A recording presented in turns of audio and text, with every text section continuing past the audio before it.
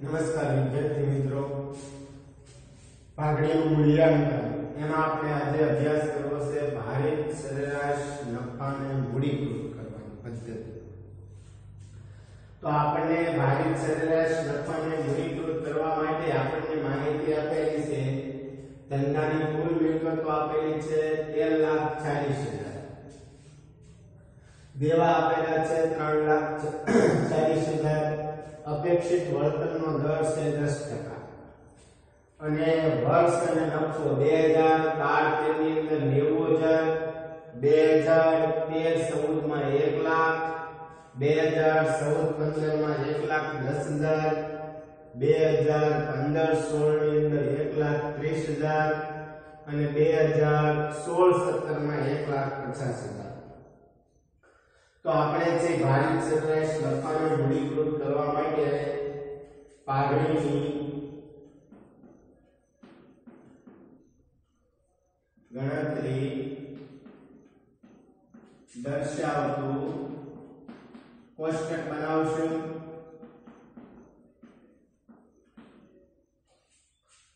ક્રમ વિગત અને રકમ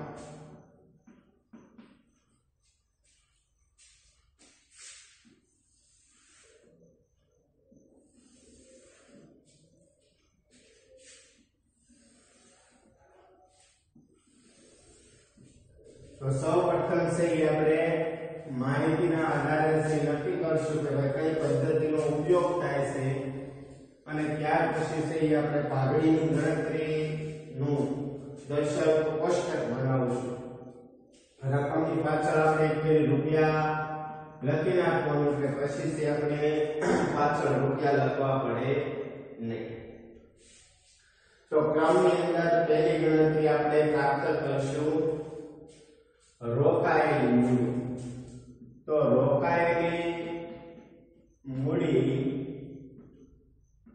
મેળવવા માટેનું સૂત્ર છે કુલ મિલકતો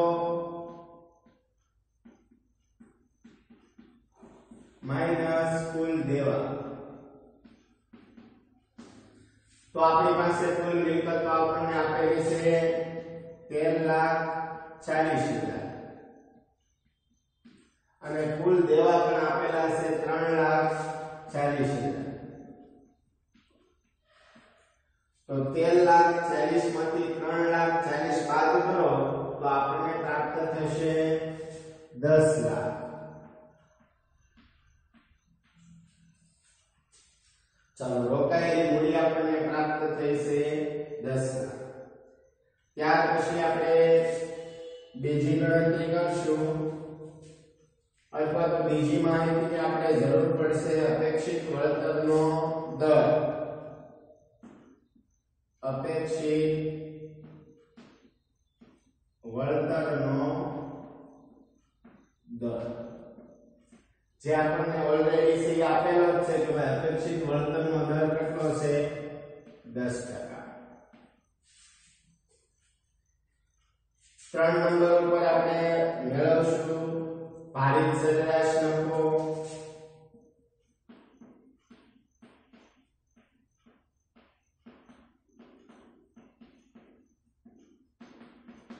તો ભારિત સરેરાશ નફો મેળવવા માટે આપણને માહિતી આપેલી છે.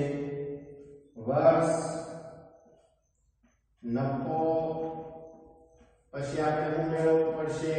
ભાર અને ભારિત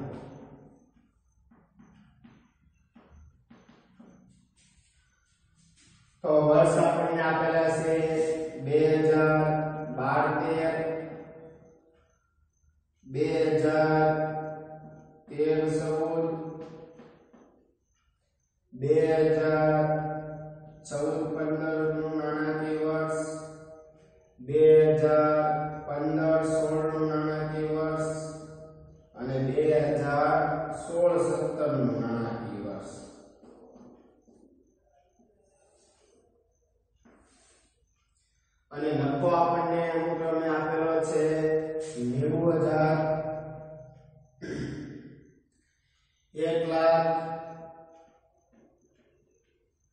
એક લાખ એક લાખ દસ હજાર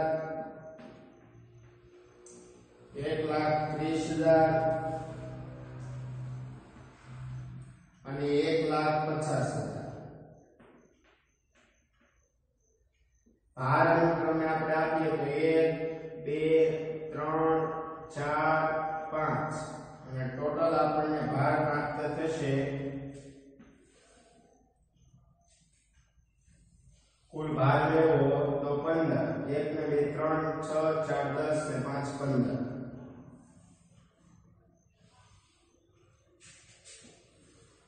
હવે આપણે પ્રાપ્ત કરવું છે ભારિત નફો.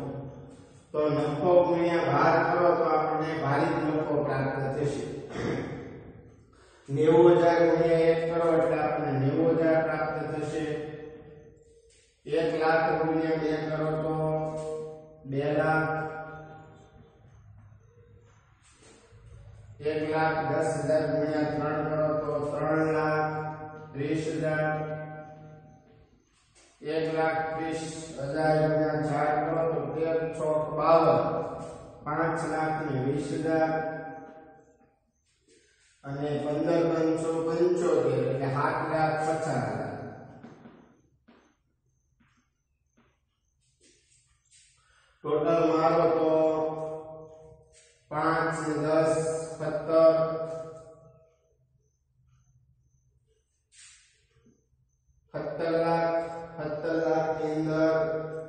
પચાસ ને સિત્તેર એસી અને નેવું એટલે કે અઢાર લાખ નેવું હજાર ચાલો ભારિત નફો આપણને પ્રાપ્ત થયેલો છે કે ભારિત સરેરાશ નફો મેળવવા માટે ભારિત સરેરાશ બરાબર કુલ ભારિત નફો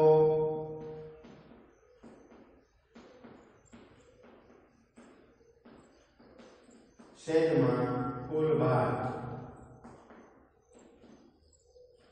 તો કુલ ભારિત નફો તમે જુઓ તો આપણને પ્રાપ્ત થયો છે અઢાર લાખ નેવું હજાર અને કુલ ભાર આપણને પ્રાપ્ત થયેલો છે પંદર એટલે આપણને ભારત સરેરાશ નફો પ્રાપ્ત થશે એક લાખ ચોવીસ હજાર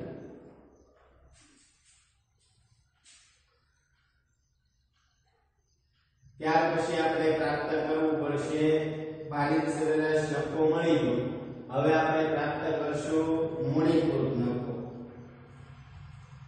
તો મૂડીકૃત નફો મેળવીએ. તો કે ક્રમ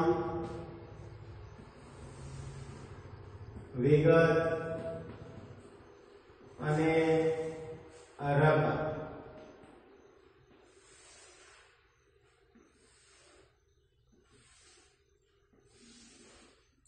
ચાર નંબરની આપણી ગણતરી છે મૂડીકૃત નફો તો મૂડીકૃત નફો મેળવવા માટેનું સૂત્ર છે કે સરેરાશ નફો સરેરાશ નફો છેદમાં અપેક્ષિત વળતરનો દર ટકા. તો સરેરાશ નફો આપણને પ્રાપ્ત થયો છે કેટલો? અઢાર લાખ નેવું હજાર.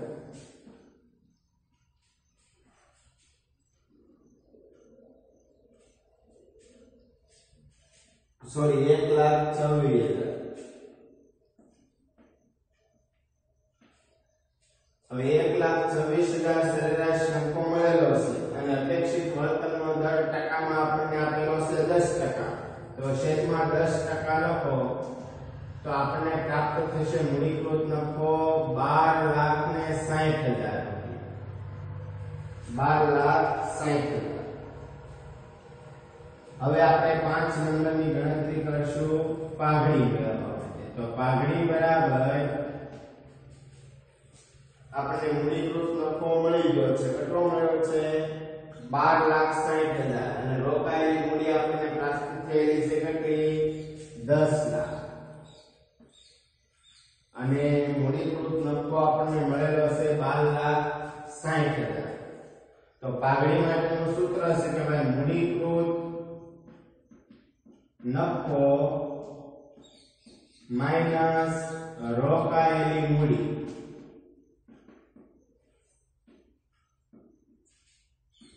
તો મૂડીકૃત નફો આપણી પાસે છે બાર લાખ સાહીઠ હજાર અને રોકાયેલી મૂડી આપણી પાસે છે દસ લાખ તો આપણને પાઘડી પ્રાપ્ત થશે બે લાખ ને સાહીઠ હજાર